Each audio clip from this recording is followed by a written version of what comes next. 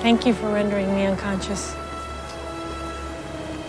Huxley, I did it for your own good. We're supposed to be a team. We are.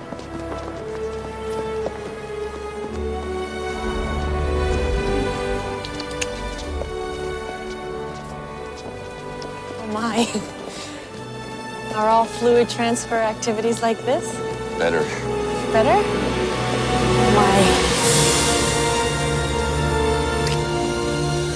Think I'm gonna like the future. Now that you've demolished everything. But there's just one thing I want to know.